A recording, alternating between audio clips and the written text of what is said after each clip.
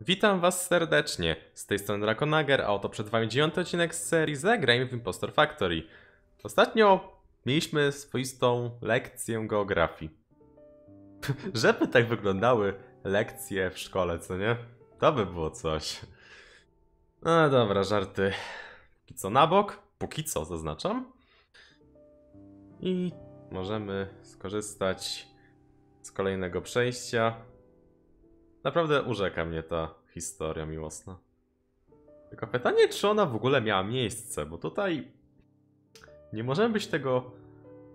Nie możemy mieć tej pewności. Moim zdaniem, przynajmniej.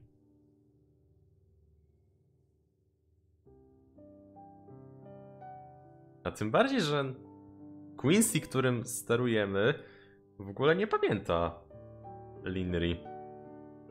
Ani tym bardziej tego, co z nią robił, więc coś musi być na rzeczy.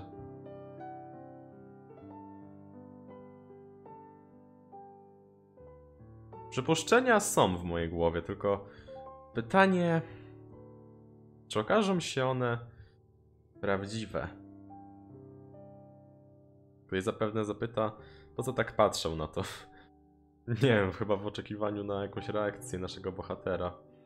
Żeby się troszkę wczuć, żeby tak urzeczywistnić to, co się dzieje.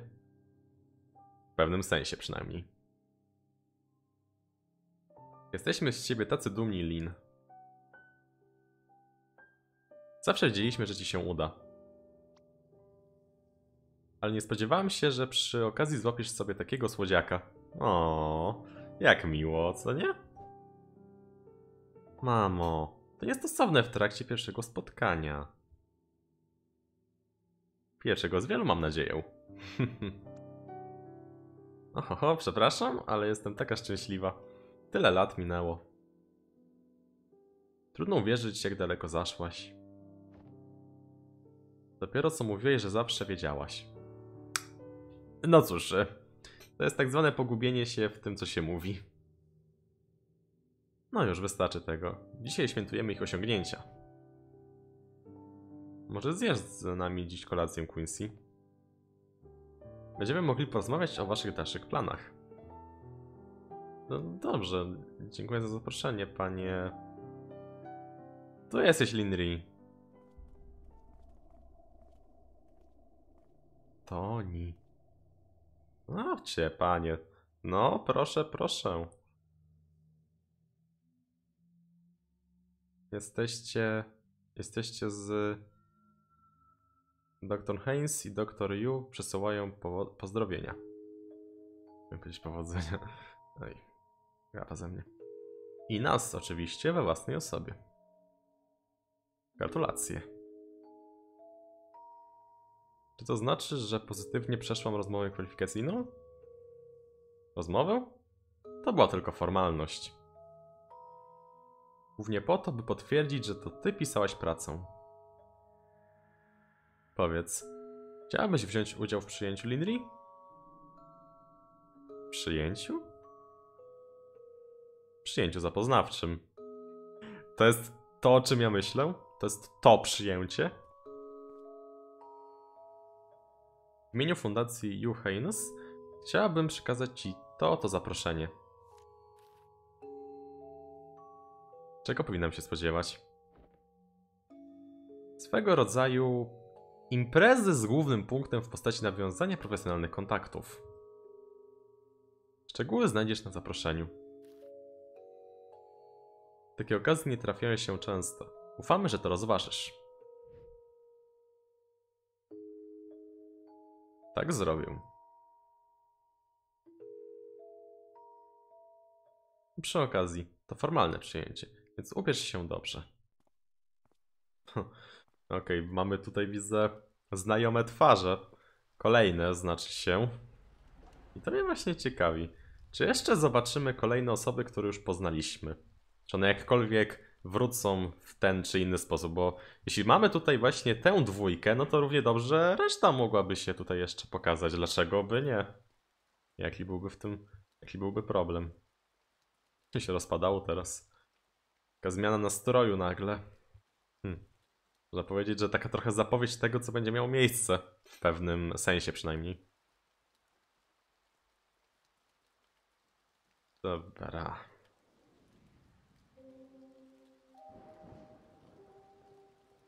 O nie. No nie mówcie mi. Nie żartujcie sobie ze mnie.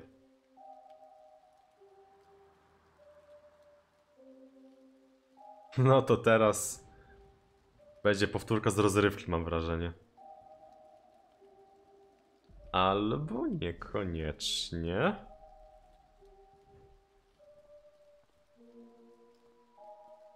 Już sam nie wiem, co będzie. Co ma być, to będzie. Niech się dzieje wola nieba. Z nią się zawsze zgadzać trzeba, jak to eh, rzekła pewna postać z zemsty. Znowu tutaj. No właśnie. Znowu tutaj. Błyszcząca skrzynka pocztowa. Wracają wspomnienia z początku, co by nie mówić.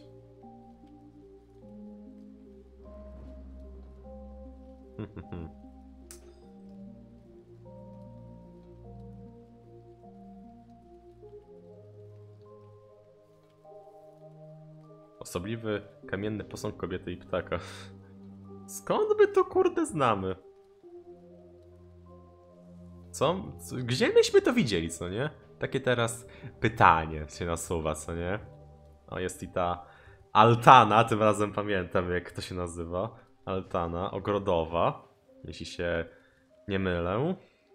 Ale naprawdę mam teraz zastanawiam się, co się jeszcze wydarzy. Znaczy, pewnie teraz poznamy wydarzenia sprzed y, y, tego, co jakby widzieliśmy, w sensie w tym miejscu. O to mi chodzi. Dobra, no rozglądam się, ale raczej nic nowego się tu nie pojawiło. Ta fontanna nadal wygląda staro i nie działa, ale... Całe miejsce wydaje się być bardziej zadbane? Ej, faktycznie, no nie zwróciłem to uwagi, znaczy te kwiaty mi tak się rzuciły w oczy, ale nie wiedziałem yy, co o tym myśleć, jakby o co chodzi konkretnie. Sir Fox, nie wchodzić. Ach tak. Lis. Poidło. O, chyba nie sprawdziłem tego poprzednim razem. Faktycznie to miejsce wygląda teraz lepiej. Może tak powiem, ręce i nogi. W pewnym sensie. Hmm. Ale dlaczego? Z czego to wynika? O, to jest pytanie. Dobra, no tutaj już nie przejdziemy sobie. Chociaż... Okej, okay. to było ciekawe. Doświadczenie. Tutaj mamy większą swobodę chodzenia. Co to takiego? To jest jakaś budka dla ptaków? Wygląda trochę jak, nie wiem, jak, jak człowiek, tak ludzko troszkę. Taka ludzka postać w sensie. Dziwna rzecz. No dobrze, co jeszcze tutaj możemy y, znaleźć? Chyba szczerze już za bardzo nic. No to co, pozostaje wejść do środka? Jak mnie mam.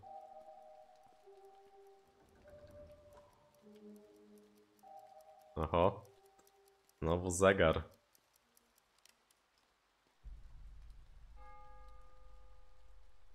No i się zaczyna, można powiedzieć. Jest i on! Że kolejne co ciekawe, brakuje tu jednej osoby. Wow, czuję się jakbym nie był tu rąk od strasznie dawna. Wszystkie parasole. Zdaje się, że gości już przybyli. To będzie ciekawe doświadczenie. Jest trochę po 15. Hmm. Brakuje tylko mojego. Hm. Jeszcze się okaże, że nie jesteśmy prawdziwi, co nie? Cześć! Chcesz ryż? Zaraz. Ty mnie widzisz? Ryżobot widzi wszystko. Tak jest. Ryżobot ma pewnie trzecie oko. Daj spokój, ryżobocie. Nikt nie prosił o ryż. O, tu się pani myli. Ryżobot jest mądrzejszy od pani. Czy Rika chce ryż? Nie, przestań. Dobrze. Jak można? Jak można tak traktować ryżobota? Jak tak można? To jest nie do zniesienia. My disappointment is immeasurable. And my day is ruined. Hej. Raczej. Hej. O, jestem duchem. Trochę tak, jakby nie patrzeć. Jak się nad tym zastanowić, dlaczego ryżobota można spotkać wszędzie, tylko nie w kuchni? Ryżobot tak naprawdę jest ważniejszy niż nam się wydaje.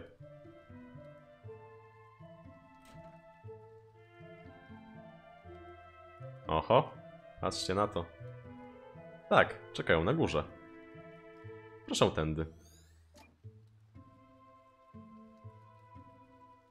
Hmm.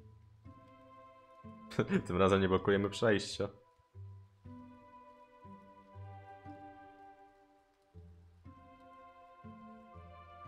Nikt nic nie ma do powiedzenia? Ani słówka nawet? Ciekawe.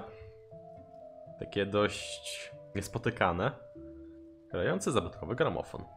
Znany nam już, oczywiście. Ujmę to tak, wróciliśmy na stare śmieci. Ta maszyna. To mieszanie ludziom we łbach, jak to określono, tak?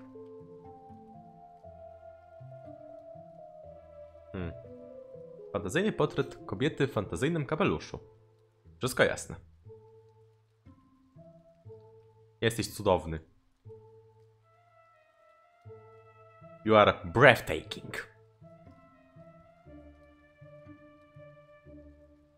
No i dobra, i teraz pytanie, gdzie się powinienem udać? Hmm. Kuchnia raczej, znaczy pewnie na górę, jak znam życie. Skoro są na górze. A zerknijmy w miejsce, w którym sporo się działo. To miejsce. A niech mnie, tutaj trzeba było wejść. Niespodziewajka! Więc to jednak nie jest maszyna czasu? Chyba, no skoro Lindri mówiła o, o tym, o szansie jakby zgrania się tych procesów, czy coś takiego. Że zastanawia mnie jedna rzecz. Tutaj nie ma Linri, a zyskaliśmy kulę pamięci. Tak jakby... Jakbyśmy zbierali wspomnienia Quincy'ego? Tu się dzieją dość ciekawe rzeczy. O, znana nam ekipa. Nie wiem czemu, ale jakoś mi ich brakowało. A ryżobot to co? Jego ci nie brakowało? Jak możesz? Ty kimiocie, ty! Czy tylko ja doceniam ryżobota? Dlaczego wszyscy tak nim poniewierają? Jak Cytripio z Gwiezdnych Wojen oczywiście. Świeży czosnek. Oczywiście. Hmm. Nie wiem, czy to syndrom sztokholmski, czy co, ale troszkę brakowało tego miejsca. Tak wiem. Nie należy do normalnych.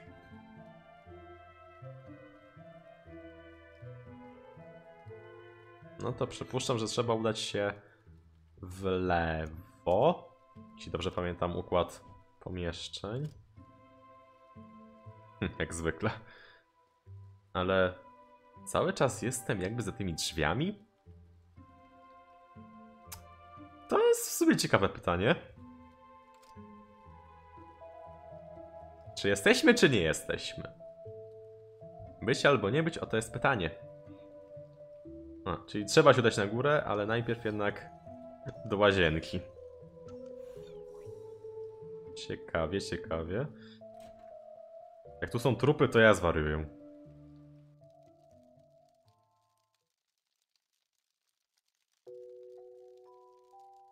Okej. jest normalnie. Znaczy, normalnie, normalnie, nie normalnie jak na tę grę. W sensie, no. Bezpośredni interfejs pamięci pomiędzy człowiekiem i maszyną? Zgadza się.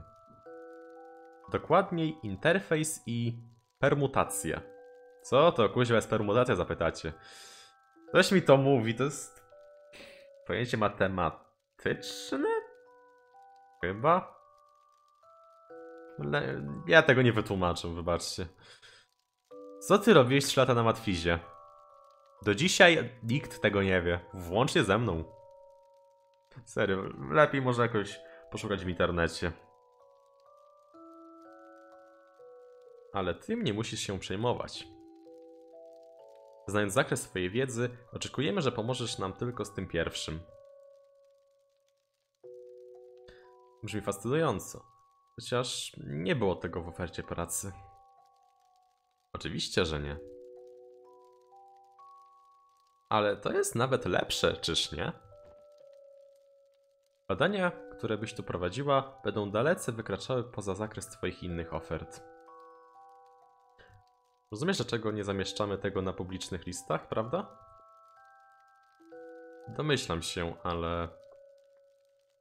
Dlaczego ja? Jaka jest w tym ukryta prawda? To są dopiero trudne sprawy, co nie? Ale kombo, żem walnął teraz. Normalnie lewy i prawy sierpowy. Z pewnością znaleźliby się bardziej doświadczeni kandydaci. Cóż, sprawdziliśmy cię i twoja szczególna sytuacja... O, uważamy po prostu, że nie przyda nam się, że przyda nam się świeża perspektywa. To wszystko. Nie umniejszaj swoich zasług. Twoja praca naukowa mówi sama za siebie. Tak, nie ma powodu, by w siebie wątpić. Syndrom oszusta jest powszechny wśród ludzi utalentowanych. Nie pozwól mu się pokonać. Syndrom oszusta. I teraz nie wiem, czy ja o tym słyszałem gdziekolwiek, czy niekoniecznie. Akurat poczytam o tym i w sumie mógłbym coś o tym napisać wam. Pobieżnie, zapewne, ale zawsze coś.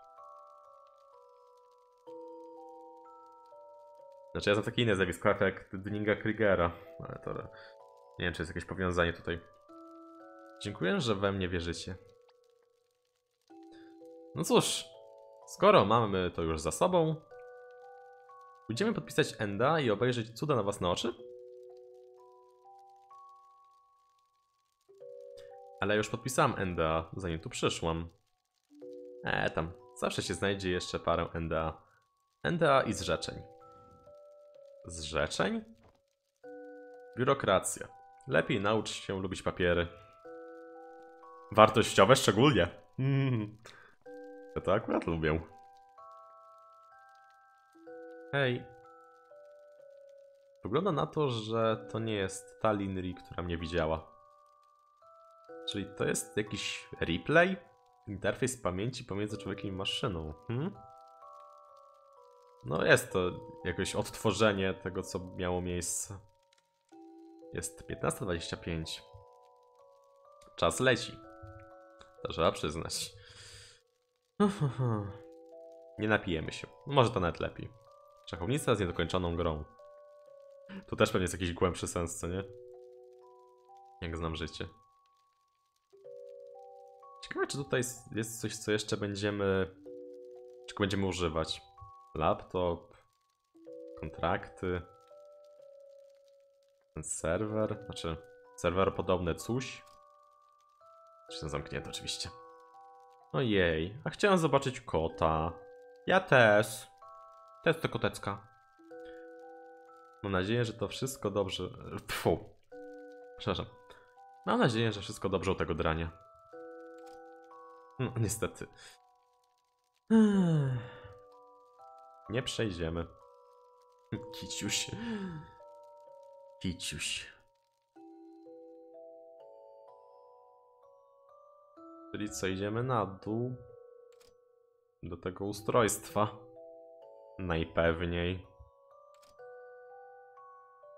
No widzę, że trafiłem.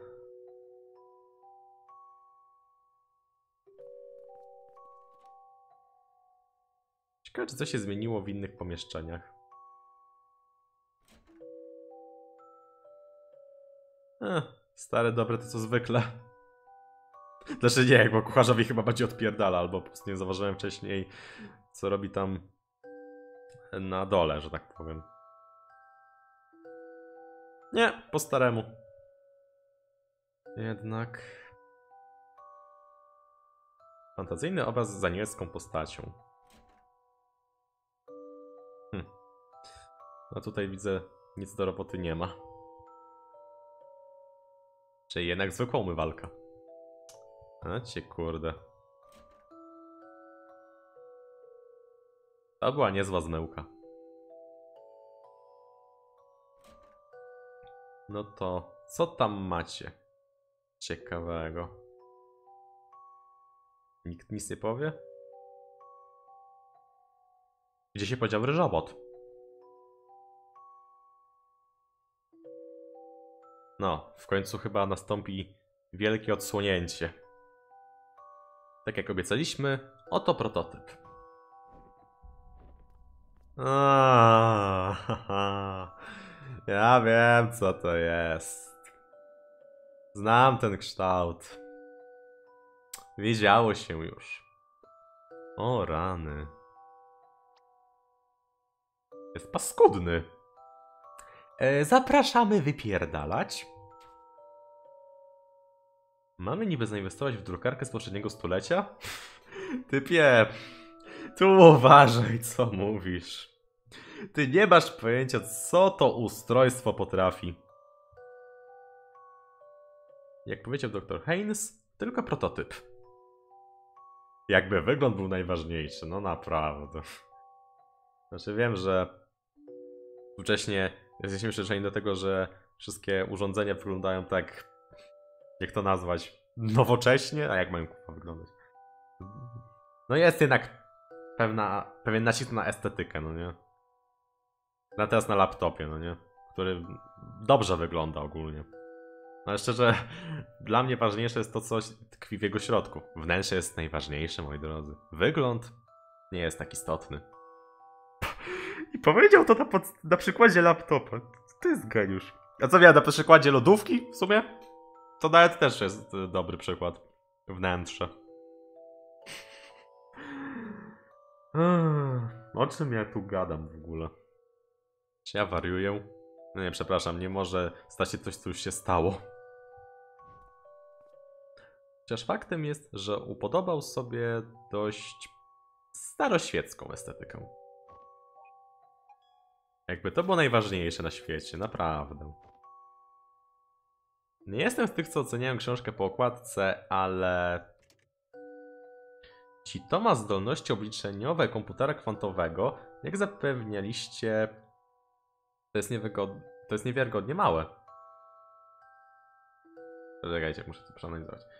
Zdolności obliczeniowe komputera kwantowego to jest niewiarygodnie małe. W sensie, że jak na komputer kwantowy, to znaczy to co ma jego zdolności, to jest i tak mały przedmiot. Hmm. Trochę jak analogia z telefonami komórkowymi, które obecnie mają znacznie większą moc niż stare komputery. Jakieś to komputery to były takie wielkie. To wyglądało jak serwerownia trochę z tego co kojarzę. Takie kurde wielgachne pomieszczenia i to był jeden komputer. No ale to naprawdę już chyba dość dawne czasy były. I wiem, że zrobiliśmy znaczne postępy w kwestii chłodzenia, ale żeby praktycznie wyeliminować... Nie. To jest głównie przewodowy klient podłączony do centrum obliczeniowego. Większość obliczeń wykonywana jest gdzie indziej. Czyli jeśli dobrze rozumiem, to jest jakby taki trochę pośrednik pomiędzy tym wszystkim że on nie robi tych wszystkich obliczeń, tylko tak naprawdę odpowiada za tą główną część procesu, w sensie za sterowanie i tego typu sprawy. a obliczenia są wykonywane gdzie indziej. Dobra, może nie zagłębiajmy się w taszczek bardzo, bo mogę dobrze tego w ogóle nie rozumieć. Biorąc to pod uwagę, nawet przy imitacji danych mózgu jego olbrzymi potencjał jest wyraźny. Pozwólcie, że zademonstruję.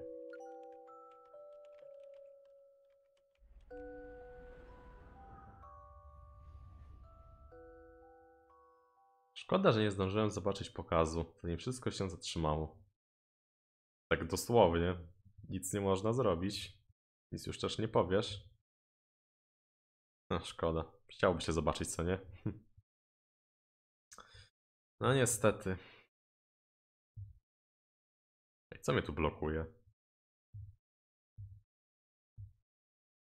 Co jest? Kurde. Czy to jest jakiś błąd, czy celowa blokada? A, trzeba aktywować skrypt. Już rozumiem. To taka zagrywka najwyraźniej.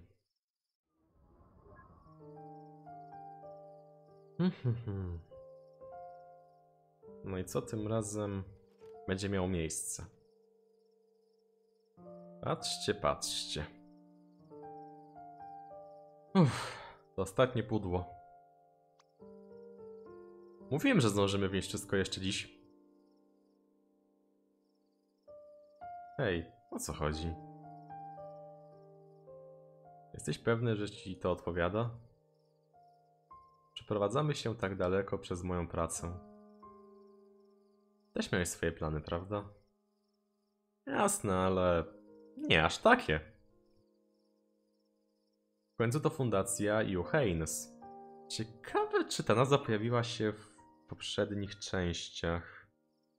Kurczę, mam tutaj kartkę mm, z notatkami z poprzednich gier. W sumie zerknę sobie. No dobrze, ogólnie przejrzałem tą swoją kartkę i nie znalazłem tam. Chociaż. Niby jest, znaczy nie, teraz widzę, że jest jakaś. E... Dobra, inaczej. Nie znalazłem tutaj tej nazwy, która jest tu podana na tej kartce, w sensie. Nie znalazłem jej, ale widzę inną. Może są jakieś powiązania, ciężko mi powiedzieć.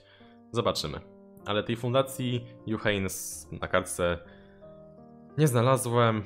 Być może ta nazwa gdzieś mignęła, a może nie. Jeśli ktoś zechce mnie e, poinformować, rozjaśnić tę sprawę, wyjaśnić, no to spoko. Cokolwiek będziesz tam robiła, jestem pewny, że będzie to przełomowe. No jednak Hej, wszystko w porządku. Wiem, ile to dla ciebie znaczy. Nie przejmuj się. Na pewno też znajdę tu coś dla siebie. Dzięki, Queens. Cieszę się, że tu jesteś. Oczywiście. Obiecałem, że będę. W każdym razie, spróbujmy się tu trochę zadomowić. A potem musisz odpocząć. Głupio byłoby, gdybyś jutro lunatykowała. W końcu to twój pierwszy dzień. Hm. Ciekawe, jakie Quincy ma myśli, gdy na to wszystko patrzy.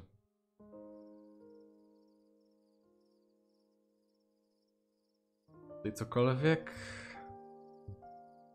Czy nic? Chyba trzeba po prostu będzie przejść do różnych pomieszczeń.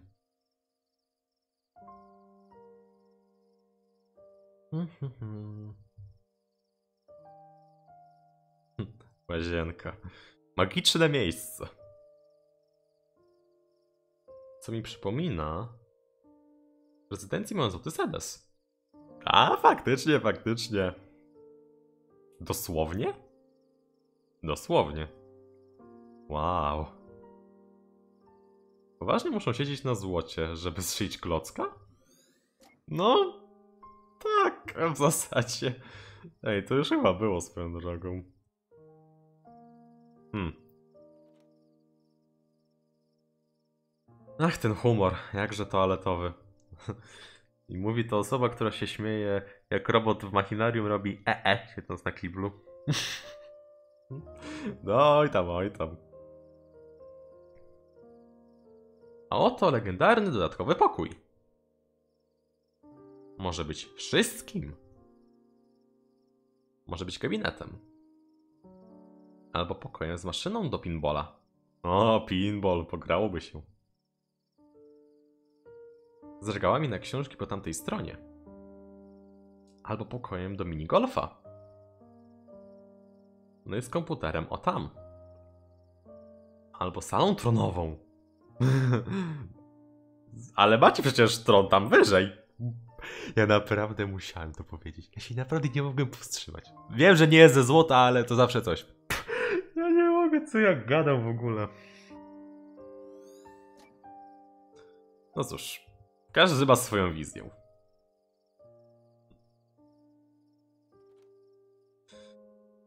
No to jeszcze tutaj.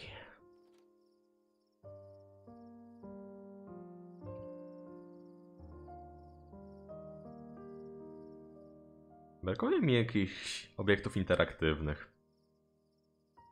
I znowu stary, dobry materac. Czuję się, jakbyśmy się przenieśli z jednego akademika do drugiego. Hmm, dla mnie jest przytulnie. Przypomina mi to kemping. Ty nie byłaś nigdy na kempingu, prawda? Nie całkiem. Oj tam, oj tam.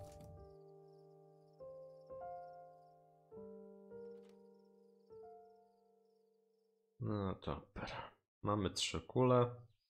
Co dalej?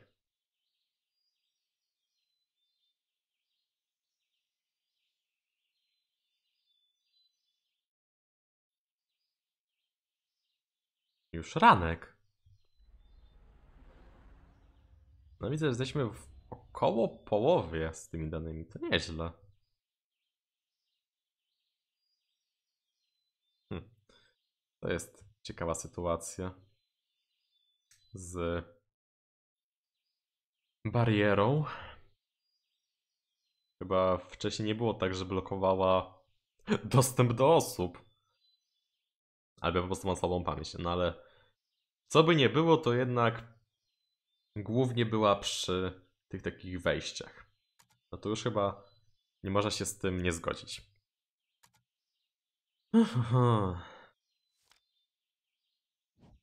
No dobrze, no to zobaczymy, jak e, wydarzenia się rozwiną w kolejnym odcinku. Także dziękuję za oglądanie. Cześć.